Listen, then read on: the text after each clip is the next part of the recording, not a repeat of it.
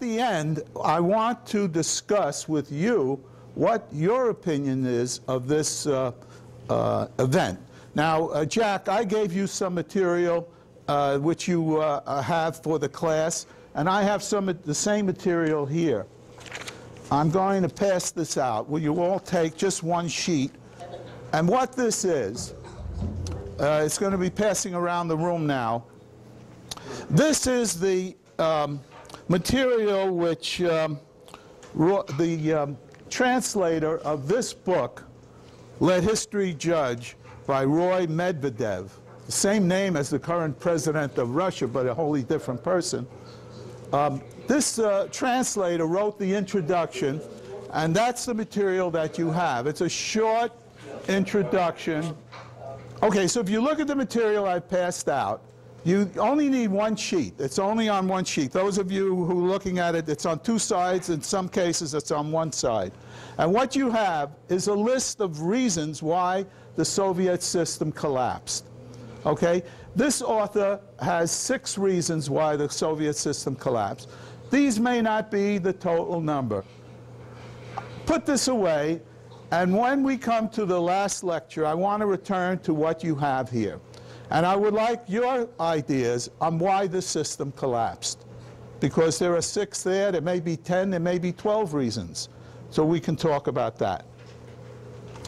Okay. Uh, I want to just give you a brief outline of how this course will go. In this lecture, we will carry uh, forward from the um, time that Stalin was born until the revolution. The revolution when I say that, I'm talking about February 19, 1917. The October Revolution occurs halfway along, another eight months along in the year. I'll pick up from that point in the second lecture and carry us from the revolution to the conclusion of the Civil War. The Civil War, which was the aftermath of the revolution, took us up to the uh, 1920. Most of us here in America have little cognizance of the Civil War. We're very familiar with our own Civil War, which uh, resulted in a half a million deaths. In the Russian Civil War, the number of deaths were 10 million. It's a whole different story. Okay, uh, from the third lecture, I'll take up uh, Stalin's rise to power in the 20s and the struggle in the 20s, including the um, uh, the Ukrainian famine and uh, what happened there. In the uh, fourth lecture, I'll take up the run-up to, to the World War II, the tremendous amount of machinations between uh, Stalin's Russia and the uh, West, Britain, France, and Germany. In the fifth lecture, I'll take up the Second World War and what happened there, and the uh, machinations between Stalin and the big and the uh, uh, Churchill and Roosevelt, the big three, and so on, and the amazing um, actions of the uh, uh, German-Soviet uh, struggle. And in the last lecture, I'll take up the Cold War and the um, run-up to Stalin's death. And then we'll discuss the uh, paper I've just handed out. Okay, so that's a general outline of this course. Now what I'd like to do to start off is talk about the end point. I want to talk now about Stalin's death. We'll start at the back, okay? So let's have a look. Let's see now. Uh, let me get out of PowerPoint. Uh, can I get out of PowerPoint and minimize? Let's get out of PowerPoint. And we're going to go back to uh, January 1952. Stalin goes for his annual checkup. We're seeing this movie? Yeah. We got to see a movie now. You got it? Oh, there it is.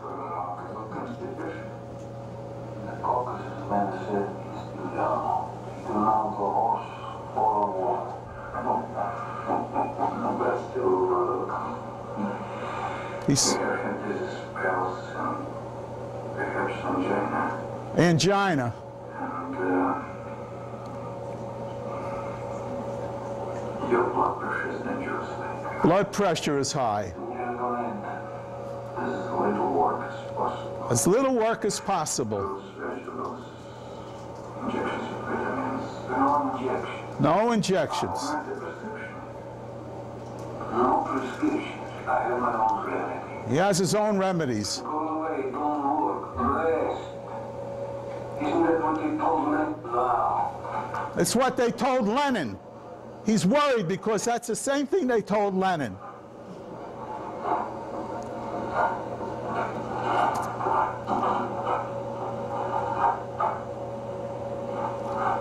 What's the voice there? I'll tell you who it is. There's no voice at this point. But there he is. This is him.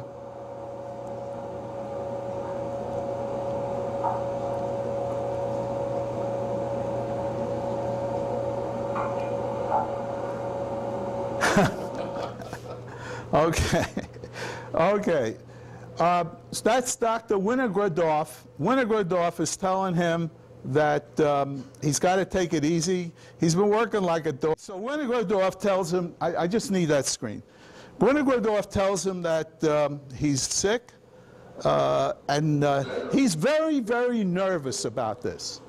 Stalin doesn't want to hear this, right? And you saw what happened. He went to the door, watched what the doctor is doing. Uh, just a word about Lenin. Lenin was sick for about a year and a half, or almost two years. And he, you'll see some photographs later on in, in, the, in the next lecture about the lousy condition that uh, Lenin uh, deteriorated. He had suffered from stroke. And uh, this is very, very scary to, uh, to Stalin. Shortly thereafter, as a matter of fact, by December 1952, Vinogradov, this doctor, is in Lubyanka prison. Okay? Also in the prison are a whole group of Jewish doctors. That's the beginning of the Jewish doctor plot, the so-called Zionist plot that uh, was boiling in Stalin's mind at that time. And it was going to be very bad for the Jews of Russia. It was going to be very bad for Russia itself, for Soviet Union itself. Okay, so that was 19, that was uh, through 1952. So let's move forward now to um, January 1953. Uh, by this time, Stalin has fired uh, Vlasik, who had been with him his almost his entire career. Vlasik was his uh, major domo, uh, was like his um, uh, office manager. Uh, Vlasik, of course, he was stealing like all, uh, like all bureaucrats in that position, and uh, Stalin accused him of it, and he was now in jail someplace. Uh, his secretary, Prospevnikov, was also in jail. Molotov and uh, Mikoyan, who were old-time comrades, were no longer had any ministries, although they were still in the Politburo. He was cooking up this doctor's plot. He was coming back to another purge. They were all feeling it. Khrushchev was on the Politburo at the time, and um, Beria, of course. But what had happened was um, Beria's second in command was no longer Beria's um, uh, client. It was now Khrushchev's client, a guy named Ignatiev. So everything was in flux here. And Svetlana had moved out of the dacha. She was no longer living with her father. But that was, that was an ongoing thing of fighting with his daughter over, over the years. So actually, Stalin had nobody around him that had been his longtime uh, comrades. And he had the, um, uh, so let's move forward now to Saturday night, February 27th, 1953. Okay, this is a guy, this Stalin, he, uh, he's a night hawk. He sleeps late in the morning. He eats dinner at 10 or 11 o'clock at night. He stays up till the middle of the morning. And he calls his comrades around. Uh, from what I'm going to tell you now, you can get some of it from this book, Conversations with Stalin by uh, Milovan Djilas from the Yugoslav uh, Communist Party. Uh, Stalin, he, he recounts a, a dinner with Stalin where he went over, he was invited, one of the few foreigners who was invited to the dacha. Get to the dacha, and uh, pretty soon they're drinking. They're all drinking. And uh, he knew later that Stalin would serve him vodka, but he had a um, Georgian wine that looked like vodka. So he would serve you vodka, but he's drinking white wine. Okay? And he likes to get you drunk because he figures if you're drunk, he can find out the truth. Find, you'll talk if you're drunk. So he's doing this trick. And the other trick is you have to figure out, you have to say how cold it is outside in centigrades. So if you make a mistake, uh, if it's um, if it's 15 centigrades and you say 17 centigrades, then you have to have two shots of vodka. If you say 20 centigrades, then you have to have five shots of vodka. So that's the trick to get you to drink. Beria used to deliberately make mistakes because he was a drunk. Okay, so they're out there, they're having this uh, dinner, and the people around the dinner are uh, Khrushchev, Mikoyan, Beria, and um, I can't, why can't, I'm, I'm having a senior moment here. The last guy, it- it'll come back to me. No, no, okay, so they're, they're, they're drinking, and um, they go to see a movie, and um, finally, it's about 3 o'clock in the morning, and it's time to go home. They say goodnight to Stalin. He punches Khrushchev in the stomach. He says, Nikita, he's fooling around with him. Now, the next morning comes, Sunday morning, February 28, 1953. 10 o'clock rolls around, he's not up. 11 o'clock rolls around, he's not up. 12 o'clock, he should get up by now. The guards are getting nervous. 1 o'clock, 2 o'clock, 3 o'clock, 4 o'clock. And they don't want to go in. Nobody wants to bother with him because if you bother him, he's not a guy to fool around with, right? And remember this about Stalin. He's the most powerful man probably in the history of the world, has more power in his fingers than anybody ever had before him. And there's a hospital a quarter of a mile away. Keep that in mind. Finally, the mail comes in from the Kremlin. Somebody has to go in. So one of the guards who normally brings in the mail goes in at 5 o'clock in the afternoon, and they find him on the floor. He's wet his pajamas, and he can't talk. So they pick him up, and they put him on the couch, but they don't call the hospital. They don't call anybody but Beria. They start looking for Beria. They can't find him. They call Malenkov. That was the guy I couldn't remember. They call Malenkov. Malenkov says, don't bother me. Get a hold of Beria.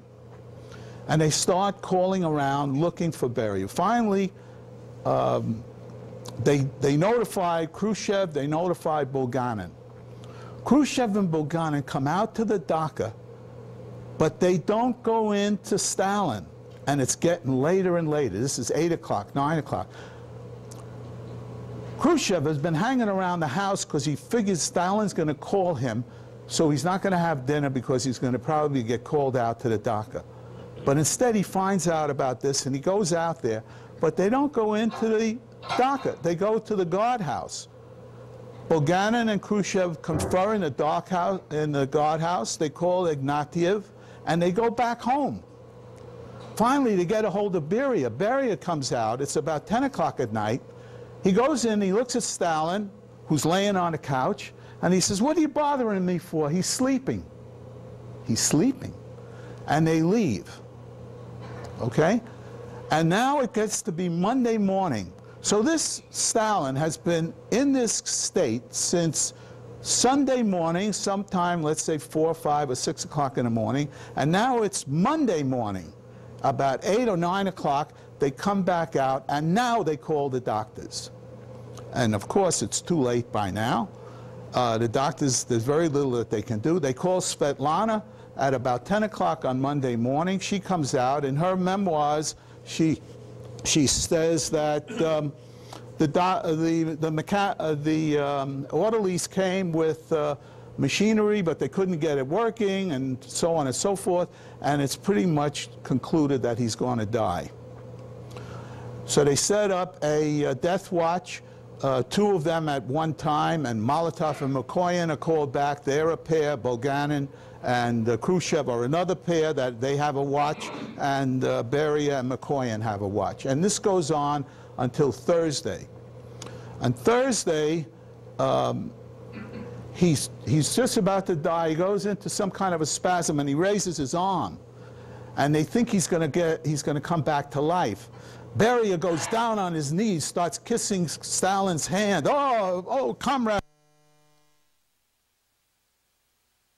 Finally dies. Finally dies.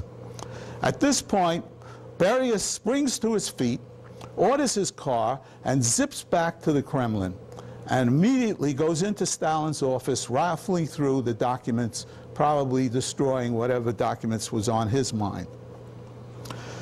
Uh, they take Stalin's body out. As you probably all know, it was embalmed and put into the mausoleum, and it was uh, put next to Lenin's body. It was moved later, as, as you all probably know. When they were taking out the desk, there were found under a newspaper three letters, which he kept over the years. One was a letter from Lenin. The next was a letter from Bukharin. And the last was a letter from Tito. As we go through the course now, as I come across the events that stimulated those letters, I'll remind you about them and tell you what they were and give you an idea of why he collected them. So that was the death of Stalin. It's amazing. A hospital only a quarter of a mile away, the most powerful man in the world, yet they were so afraid of him, so afraid of what he could do and what he would, what he might do, that in effect, by either action or inaction, he was killed by his own people, hoisted on his own petard if ever there was somebody who had that happen to them. Okay, so any questions about this? Uh, in some of the biographies, as I have uh, several biographies here on the table, uh, one of them, uh, particularly this one, um, let me see where, where, oh yeah, particularly this one by Edward uh, Radzinsky, um, he believes that Beria deliberately poisoned him. He believes that uh, he was actually killed, but Stalin had tasters and so on. Oh, by the way, I have here a bibliography for you. Again, you only need one sheet. It's certainly not a complete bibliography. Jack has one down for you folks down in... in uh, And who was the middle letter from? the middle letter was from Bukharin. Bukharin was another one of his comrades who was killed in the purges in, 19, in uh, 1938. Um, he, will come up again. Bukharin was a very interesting guy. Okay, so let's roll the tape back now. Let's go back to 1879. Stalin is born in Gori. And let's follow this story forward from there. Then we need a PowerPoint. Is it up? Yes. The Caucasus, the revolutionary. Do you have it? Okay, good. Okay. So, 1879 in, um, in Russia. Uh, his mother is uh, his mother is Ekaterina Jugashvili. That's his family name, Jugashvili.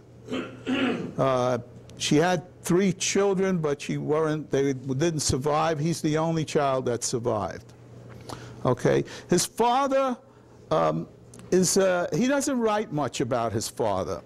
Uh, we know this much about the father. He was uh, probably from Chechnya or that area. Coming down, if you look at the map, you see that Chechnya is just above Georgia. Comes over the Caucasus Mountains. He was a shoemaker. Uh, he briefly had his own business, and then he, um, he, he had to give it up and go to work for somebody else, and he went down to uh, uh, Tiflis, where, uh, um, where he then worked. Uh, at some point, he came back to Gori when Stalin was about eight years old and took him down to the factory, and he kept him there. He probably had him working in the factory uh, with uh, Vissarion. Uh, Stalin's name is Joseph Vissarionovich Jugashvili. Vissarionovich means son of Vissarion, his father being Vissarion Jugashvili. J.V. Stalin, Yosef Vissarionovich. Okay? Uh, at the time he was born, uh, Trotsky was born just about the same time, uh, and Lenin uh, had been born nine years earlier. Uh, you'll see from my note there that Le- in Lenin's family, his brother, his older brother, had been accused of plotting the assassination of the Tsar and was hanged for that crime. Assassinations were going on in Russia throughout the 19th century. Tsar Nicholas II, the Tsar of our story, his father, his grandfather was assassinated. That was Tsar Alexander II. Okay? Um, we'll talk about the Romanovs also in this uh, lecture, but the, uh, the killings of prime ministers, assassinations, they were going on throughout the time. Oh, he's going the wrong way. Oh, here's Stalin's mother, uh, Keki uh, Svan, Svanadze. The, these names are all uh, Georgian names. Uh, the family were um, sort of middle-class people. What happened with her is once, once uh, Vissarion left, she was impoverished. She had to take in wash and so on. She was probably became a cleaning lady. And she prevailed upon the local priest to take her son, Yosef, known affectionately in the streets as Soso. Soso is like Joey. If your name is, is uh, Yosef in that part of the world, the uh, nickname for you would be Soso. So she got Soso into school by, um, through the local priest. And here's Stalin's father. Oh, no. Wrong father. That is his father. I guess that would be his father. He actually, you couldn't say that his real father was much of a father to him. So if there was any father, this is the father. All right, let's take a look at Gori itself. I've outlined it here. It's uh, down there off the, uh, uh, the Black Sea, uh, off in a corner. This is the part of the world, this is the, the, the hinterlands of the world. In the Greek world, this is where uh, the Argonauts went, the, the trailing all the way up to the end of, uh, of the uh, world, so to speak. Um, let's get a closer look at this.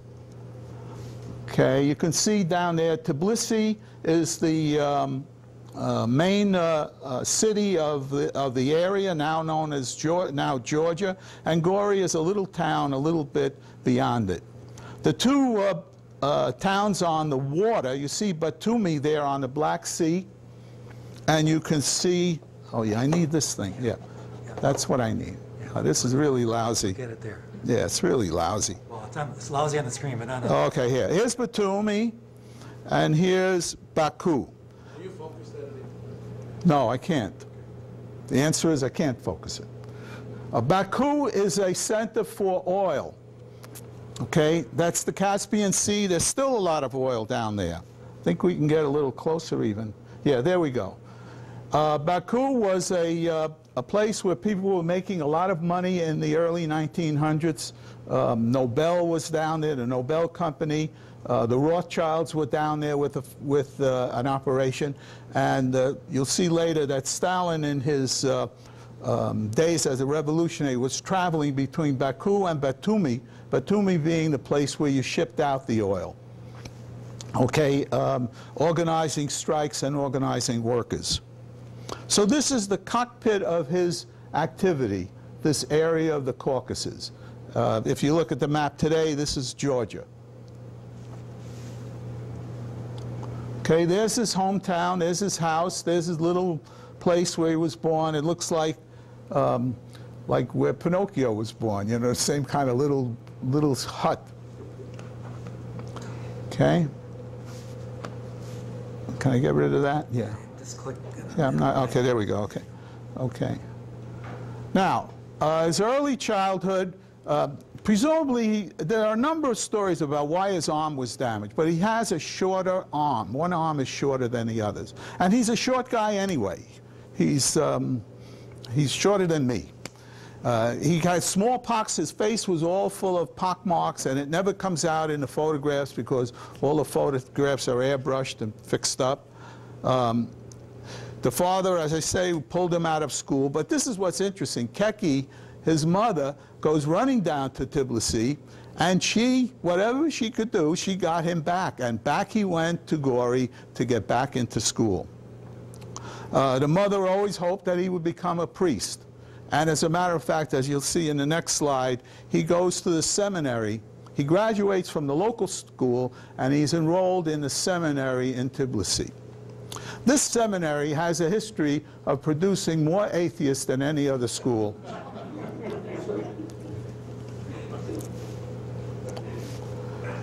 Okay, now here's a picture of him at school. This is a very interesting picture to kind of um, uh, portend what uh, the person we're talking about.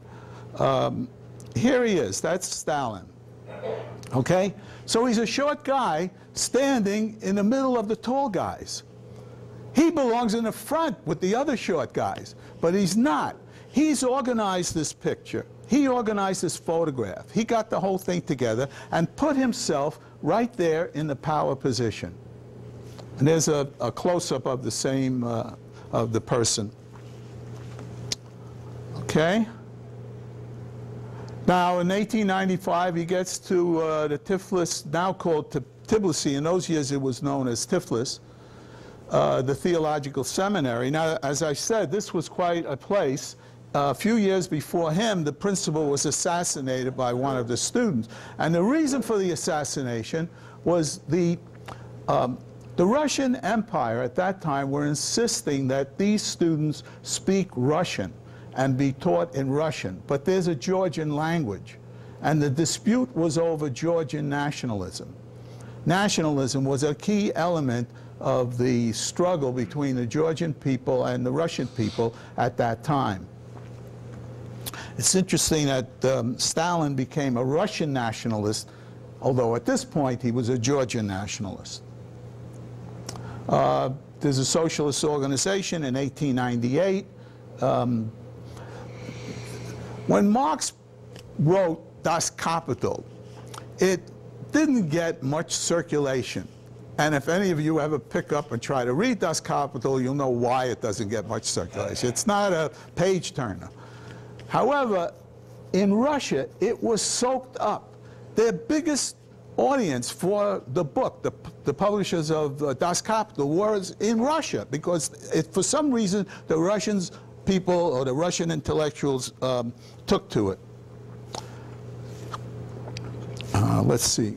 Okay, so he's expelled for not attending examination. He's not thrown out of school. He just stops going. Okay? It's not that they threw him out. And when he was there, he got top he got very good grades, and very interestingly, one of his best grades was in singing in the chorus. And throughout his life, he was known as a guy who could sing. He would always be um, able to sing and wanting to sing. And there was a lot of disappointment when they threw him out when he left because he was staying with the chorus. He worked for three months at the observatory, which involved uh, writing down the temperature and uh, recording the weather. And as far as that goes, this leader of the workers' paradise, this is the only quote unquote job he ever held for work. I mean, he had a lot of jobs in the government and so on, but as far as being a worker, this is the only worker work that he did. I know, I remember in Dr. Zhivago, they want you, to, they asked Zhivago, let me see your hands and see if he's a worker. Well, if it was Stalin and they looked at his hands, he wouldn't qualify as a worker. Okay, and uh, he quits Tiflis in 1901. Now he's become, now he's going underground. At this point, let's see, he was born in 1879, so by this time he's 22 years old. Okay, and he's going underground. Why did the police raid his room? Well, he's he's doing um, um, um, union work. He's publishing. He's he's he's into the uh, the socialist agitation in that time, and, and, uh, and that's what they're after. Um, the Russian uh, Okhrana, the Russian uh, secret police, are trying to find every revolutionary, and they find him quite a few times, as you'll see. The Russian socialists, let's talk about them. They found the uh, party with only 12 people in 1898. The Russian Social Democratic Workers' Party. We're going to leave the Caucasus for a while just to get a background on what's going on with the, uh, with the uh, socialist movement. Okay? In 1900, there's a, uh, a copy of Iskra, the spark, in other words, to start the revolution. And uh, then there's this question of the split. Um, Lenin wants the membership uh, to be those who are really going to participate in revolution. And uh, the other part of the party wants to build a big party. They want a nucleus, but they want a uh, big party program. Uh, going to hold up a book here. If I, I hope I brought it with. Oh yeah, right. Uh, Lenin, uh, uh, later on, I don't know if you can get this up on the screen. Lenin writes this book uh, around this time, a little bit after this. It's called What is to be Done. This is the Boy Scout Handbook of Revolution. If you look through this book, he, he lays out the program for what it takes to uh, run a revolution. And uh, one of the things in here, if, uh, I probably can't find it because the light isn't so good, but it doesn't really matter. What's in here, he says, what you got to do is have a very disciplined organization. You have to obey the party leadership. You have to uh, be disciplined. And anybody who can't be disciplined has to be out of the party. And it goes on and on, as you can see, all these pages. What is to be done? So they have uh, uh, this um, conflict in the party. And they have this small wording as about who is, who is qualified to be in the party. In 1903, there's a Congress uh, in which this is um, uh, discussed. Now, at this Congress, this is where the word Bolshevik comes from. Okay? Bolshevik in Russian means the majority.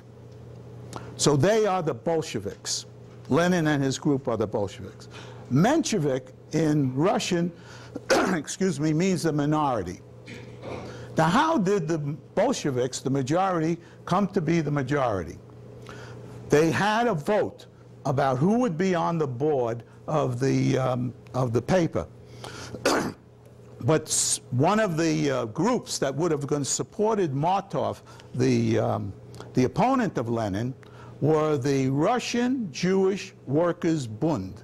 The Russian Jewish Workers' Bund. Their program was um, autonomy for the Jews in uh, Russia. And they wanted Yiddish to be acknowledged as a national language.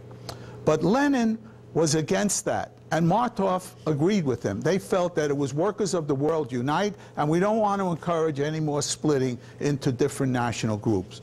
So the Russian Jewish Workers' Bund walked out of the meeting, and they would have voted with Martov. They would have voted against Lenin's program. But with those people gone, and the vote was then held, although Lenin's group was the minority in the party, for that moment they were the majority. And so they were called the Bolsheviks. So in fact, the Jews of Russia, the Russian Jewish Workers' Party, made Lenin the Bolsheviks. And they became known. Of course, it was a big advantage to be known as the Bolsheviks because I, if given a choice, I would rather be the majority than the minority. Okay, and this is another of the same thing. If you see there, uh, uh, Lenin proposes that the party members accept the program, support the party, and uh, belong and be active. And Martov says you don't have to belong. All you have to do, you can belong, but all you have to do is agree with us. Tim, do you know when those cartoons were made? These are from the, a, uh, a book. These are uh, modern cartoons. They're from this book, uh, Lenin for Beginners. And uh, you can, no, they're just, they're just modern, modern cartoons. Lenin for beginners. Okay. Lenin is the fanatic Robespierre, and Martov is the uh, Hamlet. Okay, so the party splits, and they are now called the Bolsheviks. Okay, now this is the difference between the two, as I explained before. Uh, Mensheviks being more or less uh, liberal middle class, and Lenin being the, um, let's call them Russian jihadists, okay? Um, people that have made a, uh, a, a commitment. Meanwhile, back at the Caucasus, while this is all going on, Koba. Now, Stalin's first nickname was Soso. Now that he was underground, he took this name, Koba. Koba was a hero in uh, Georgian literature, a kind of um, Robin Hood. And so he adopted this name, Koba. Um, he's hunted by the police, he's, uh, he's arrested, and he's sent to uh, Novaya Uda. I'll show you where that is, in Siberia. Um, but this is the first of many arrests. Um, between this time and 1917, Stalin is free, as a free man, only about 17 months in that whole period of time. Most of the time, between this point and 1917, he's in prison. But even in that 17 months, he's very active. In 1905, after he gets out of this escape, he, he escapes from this place. In 1905, he pulls off with a gang of, of, uh, of um, people in Tiflis a bank robbery that reverberates around the world.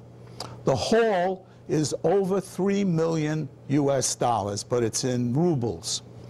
They um, stage a, a, uh, an attack on a um, carriage that was delivering uh, currency to the bank in Tiflis. They set off bombs in the square. They, they grab the loot and run, run off with it.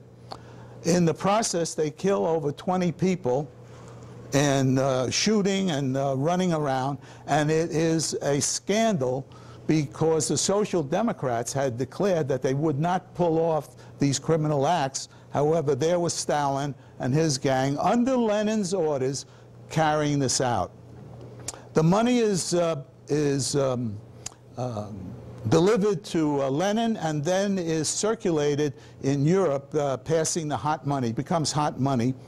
One of the, the man who eventually becomes the ambassador to America, Litvinov, Maxim Litvinov, is one of the uh, people who are distributing the hot money and is arrested and imprisoned for that uh, thing.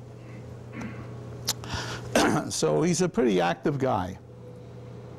Um, where is uh, where is this place? It's over here. Where's my where's my oh here it is. There it is.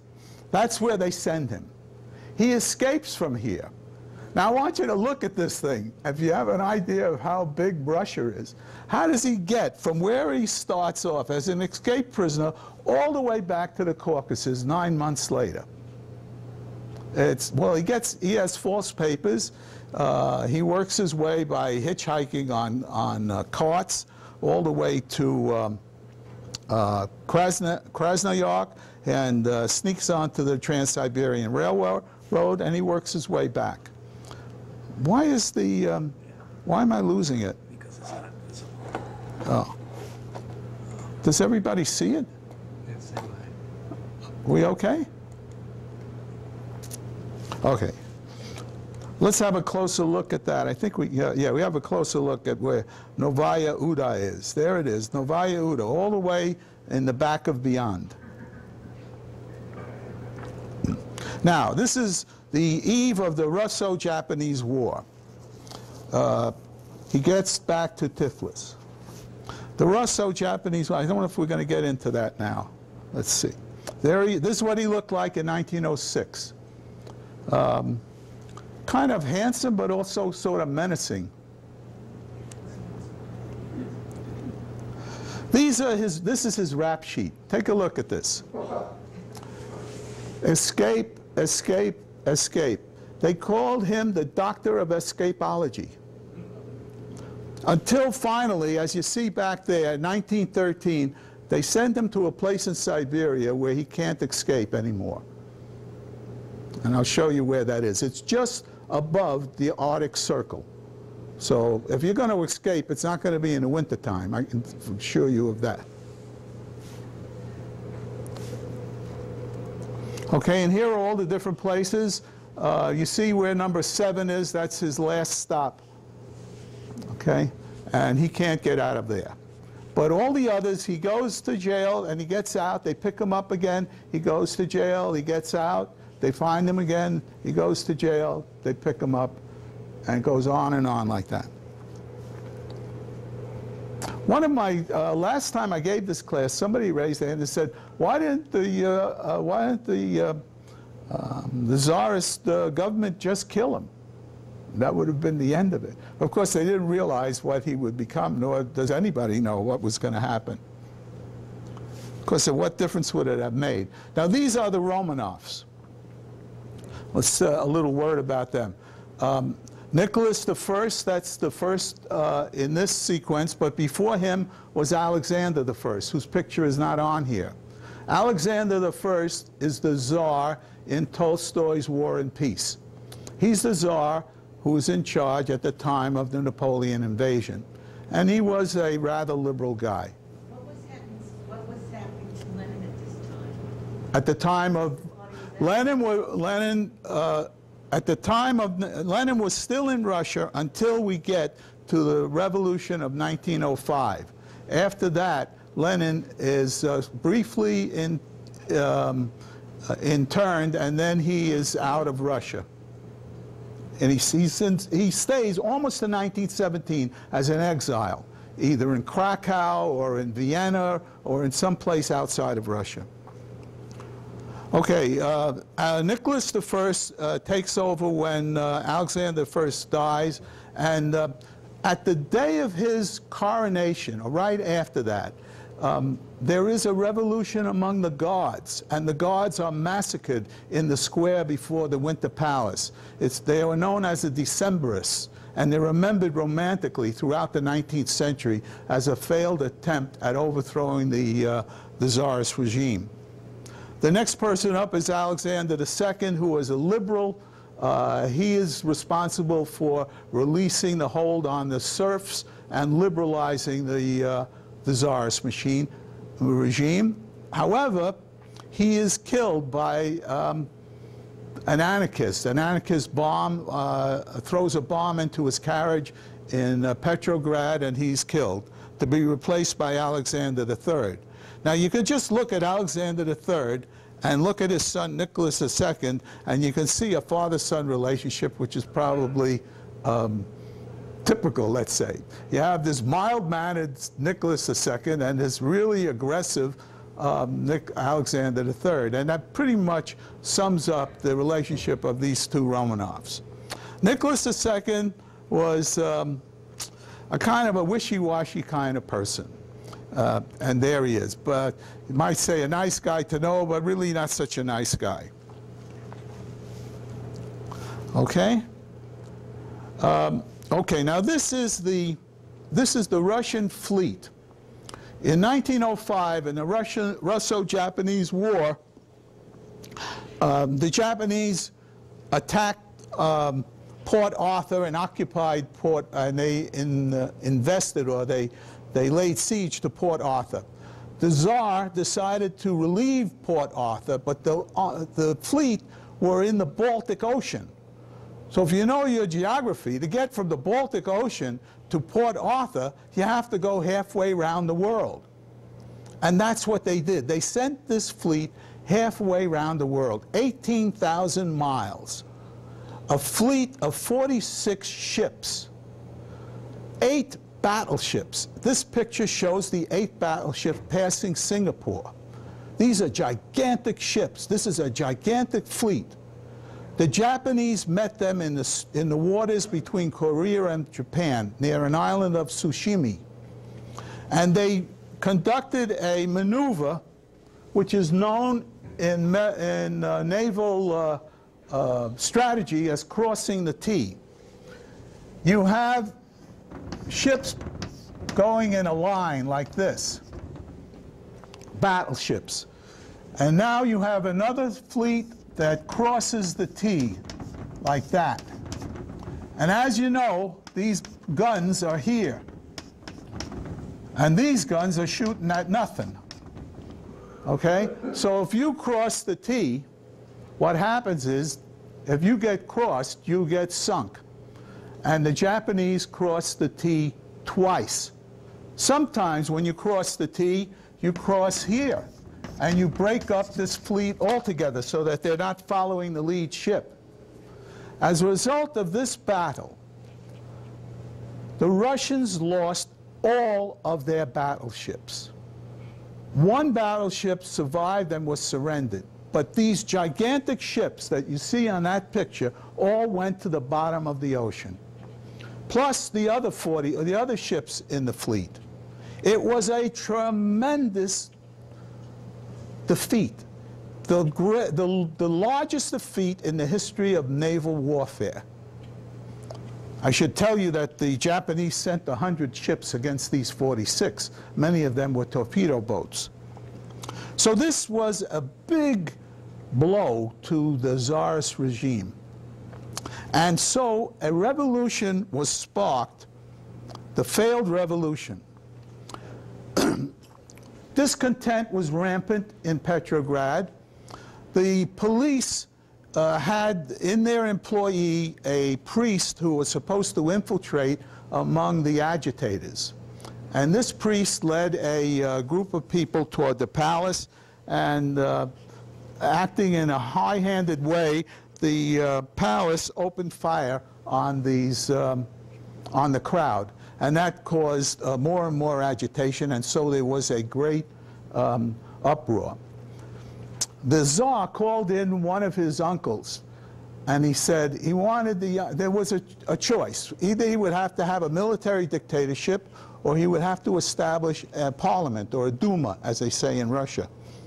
So he asked his uncle to become the military dictator. Only in Russia could you have a story like this. The, uncle pulls out a revolver and puts it to his heart and says, if you don't have a Duma, I'm going to shoot myself right now. I don't know if the story is true or not, but it does illustrate how crazy things are in Russia. But he did agree to having a Duma, and a Duma, or a parliament, was created at the time of the 1905 revolution. It's also the time when the, um, uh, this is again the 19, uh, Sunday, January 9th, 1905, um, he leads the crowd toward the palace and they open fire on the crowd. okay? Um, some of you have seen that movie, the uh, Potemkin, Eisenstein's movie, where they shoot from the uh, um, steps in, uh, in Odessa. That incident occurred, um, excuse me, yes, I no water, but I'm, I'm okay. Uh, that uh, incident occurred in, uh, in and during the 1905 revolution. Down here on the Lower East Side, when the uh, immigrants, our Russian fore, uh, Jewish forebears, heard about this revolution in 1905, there was great celebration down on Delancey Street when all of this was occurring. There were Soviets at the time. A Soviet means a committee. Committees were formed all over Russia to uh, support the revolution and support these ideas. The chairman of the Soviet in Petrograd was Leon Trotsky, who was a young lawyer at the time. Lenin, who was out of the country, could not get back in time to participate in the 1905 revolution. It's my own theory, and I'll bring it up again when I talk about the, 19th, the October Revolution of 1917, that uh, Lenin's motive to uh, instigate the October Revolution was partly based on his realization that he could not get here in 1905 in time to participate. And that if you don't get there in time, if you don't strike in time, you lose the opportunity. And so this, uh, this uh, revolution ended with the establishment of a Duma. Am I going backwards or forward here? Yeah, I'm going forward. Limited reform, the establishment of a Duma, but shortly thereafter, in the, uh, in the years following this, um, these events, they um, dismissed the Duma, they reduced the, the powers of the Duma, and in the end, by 1917, the Duma had very little power. But of course, there was a revolution in 1917, and the Duma and the revolution accumulated a lot more power, and this did not work. But the, the Tsarist regime held them down in this period. Okay? Now, what was going on with Stalin? In 1906, he's now he's pretty much a, an underground guy. He marries um, Ket, Ketivan, Kiki. He marries Kitty Svenadidze. This wedding takes place in the middle of the night with just a few people because any minute the Tsar's police will catch up with him and he has to get on the lam. By a year later, his son Yaakov is born. And soon after that, Ketivan dies. He says to somebody at the graveside, My heart has turned to stone. I'm now stone because I loved her so much. His second wife dies too. We'll talk about what happened to her. So his son Jacob is raised by Ketivan's brother. During the purge, Ketivan's brother is killed by Stalin's uh, regime. Uh, the son never gets the father's um, approval. Uh, Jacob grows up uh, in his uncle and aunt's house.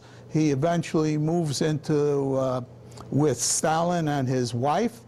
Uh, he enlists at the time of the fascist invasion. He's captured, and there are pictures of him in a German prison camp. A message comes through to Stalin for exchanging Jacob for a uh, German general, and Stalin refuses. And Jacob is killed in the German, uh, on, being held by the Germans. Which war? Second war.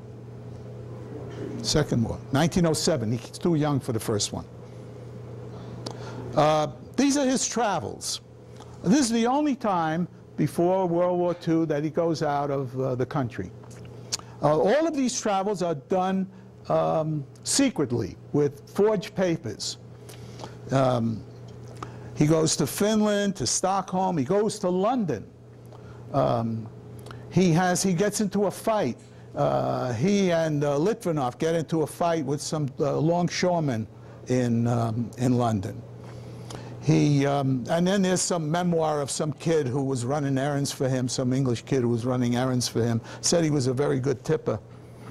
Uh, it's, I mean, a lot of these guys they end up outside of Russia. Um, Trotsky, for example, ends up in the Bronx. Um, talking about tipping, that's why I remember this. Trotsky felt that it was an insult to tip, so he never tipped any waiters because he thought it was insult to the working class to tip the waiters. So that was his solution to uh, his working class uh, allegiances. And he goes to Krakow and he goes to Vienna in 1912. When he's in Vienna in 1912, at the same time that he's there, Hitler is in Vienna living in a flop house someplace. And also working as a mechanic in Vienna at this time is Tito. Of course, these three people never meet each other, but they're all in the same town at the same time. Um, Stalin is sent to Vienna by Lenin. He goes to Krakow, and Lenin wants him to write a paper on the national question.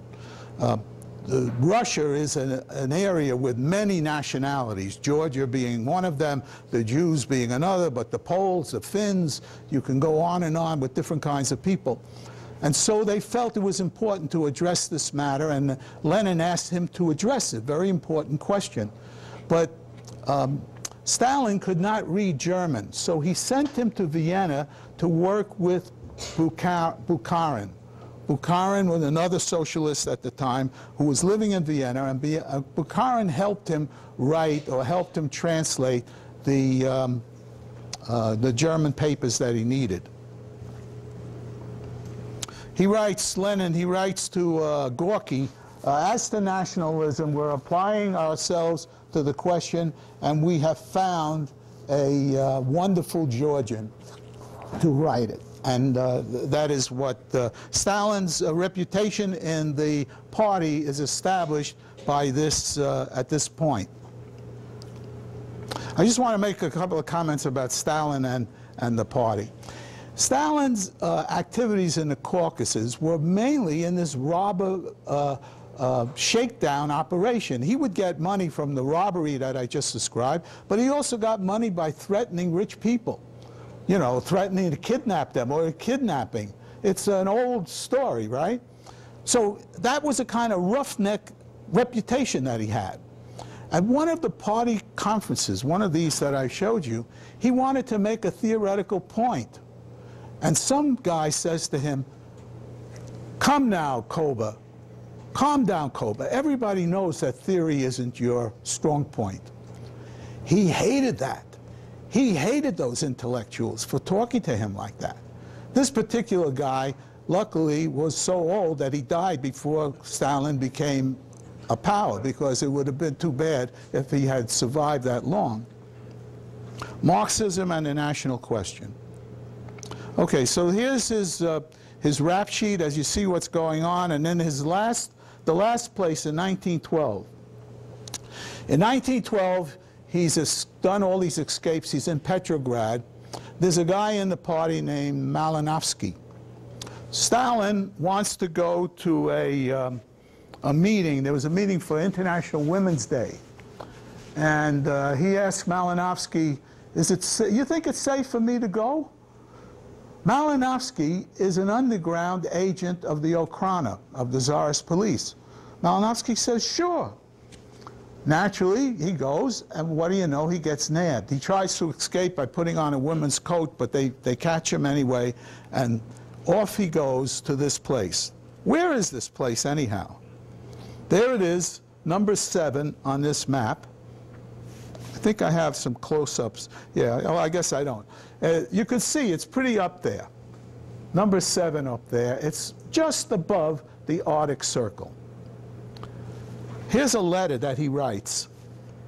I've got some sinister cough along with worsening freezes, 37 degrees below. I don't have wealthy relatives or acquaintances. I have absolutely no one to turn to. I'm appealing to you, not only to you, but to Petrovsky and Badayev. And he's looking, he's begging for money. He's begging for some, um, uh, from some clothing. People send him clothing. But he's there for four years. He doesn't escape from there until the revolution breaks out. But he remembers his stay in Siberia as a happy time, ice fishing and um, enjoying the summertime. There are some pictures here of, um, oh yeah, this is an interesting picture. Notice the blank spot on this picture. This is a summertime conference. There's Stalin right next to the blank spot. Why is there a blank spot? I should have brought, I'll bring it next time. I have a book at home which the title is The Commissar Vanishes.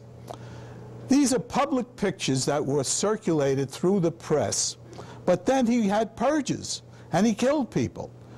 The blank spot is where one of the people he killed used to be. This is the original picture. That, you see, there was a guy there. That guy is Kamenev.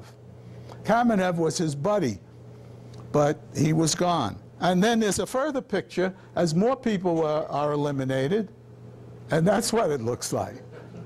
And there's a whole series of pictures like this where people disappear, and they not only disappear from the world, they disappear from the photographs. It's something that you could have found in 1984 about changing. Um, who controls the past controls the future. Or looking at this whole subject that we're talking about, I want to remind you of something that William Faulkner once said. The past is not dead. It's not even past. It's not even past. The events that we're talking about here, they're not really gone. They are still there in the current Russia, in the current world that we live in. The jihadists of today have some things to learn or have learned from what is to be done. Am I just about out of time? Am I? About five minutes? All right, I, I'll pick this up again. Let me wind down and just get some questions before we run totally out of time. Yeah. Uh, I. I- she's, uh, I forgot whose girlfriend, I think she's Sverdlov's girlfriend, uh, if I remember, but she took up with him too. Uh, I forgot her name now, but she, this is Sverdlov over here. Uh, he became the president of the Soviet Russia. And he and, he and Stalin shared a cabin together, uh, briefly. So she's, she's also interned. People were sent up to Siberia, and you didn't need a prison like we had now. You had this built-in prison, Siberia. Of course, when he became in power, he established the Gulag. And people didn't escape from the Gulag as easily as he did all his escaping. But that's because he was a doctor of escapology, and that's why he was able to do that. Any other questions? Any questions down there in Great Barrington? You guys okay down there? Okay, okay, good. They seem to be. The natives are, re- are not restless? Okay. This picture is in the prison camp? Yes, they're in prison. They're in, they're in exile or prison, right.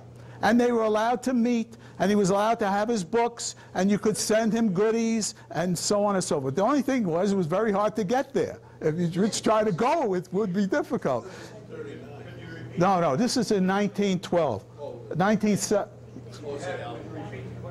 the question was, is this in prison? So the questioner wants to know, is this really a prison? It looks like summer camp. Mosquitoes are very tough. They're, they're very big mosquitoes in this part of the world. But yes, uh, what else I want to say about this? Yeah, uh, the, they go to visit him in the wintertime. There's a story about somebody going to visit him. They go on reindeer sleds. It takes them all day to get from a small camp. Let me go back a little bit. Um, let's go back to the map. Okay. Uh, I never know if I'm going to see the hair. Right. Here he is. He's up here in this little town. To get from this town, uh, is really crappy. To get from to get from this town to here, it's an all-day journey on a reindeer-pulled sleigh uh, along the uh, along the river, on the frozen river.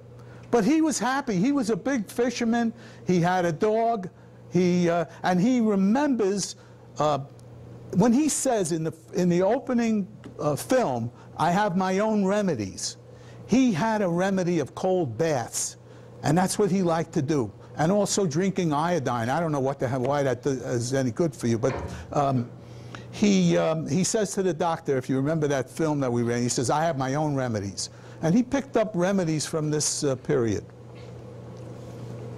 Okay, I guess I have a little time. I can go a little bit more into this uh, material.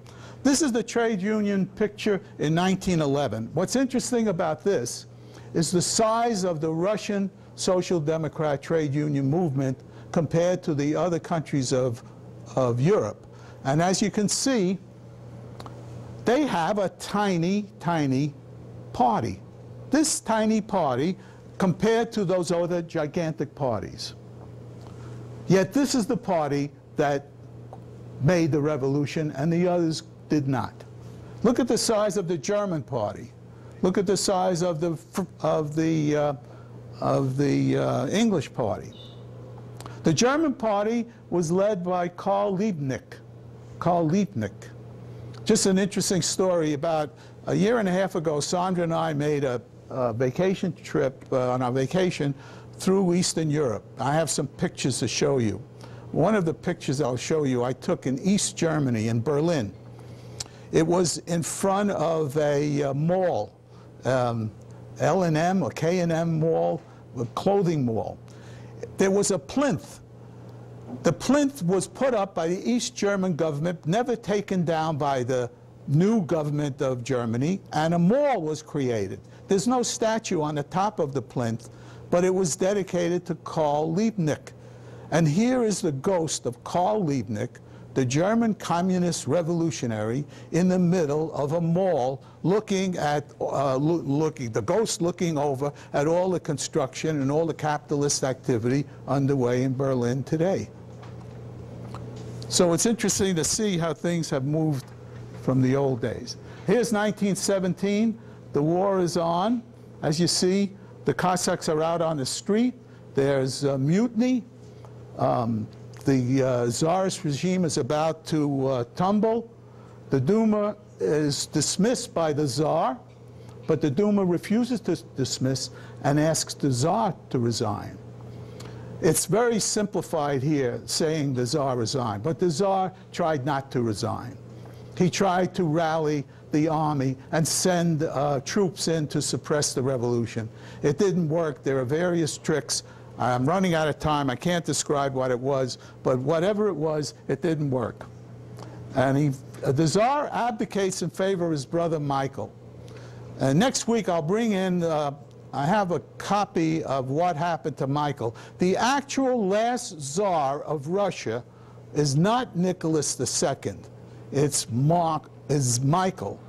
He abdicated not in favor of his son, who was suffering from hemophilia, but in, because he wanted to take care of his son, he abdicated in favor of his brother Michael. But Michael refuses the uh, uh, crown.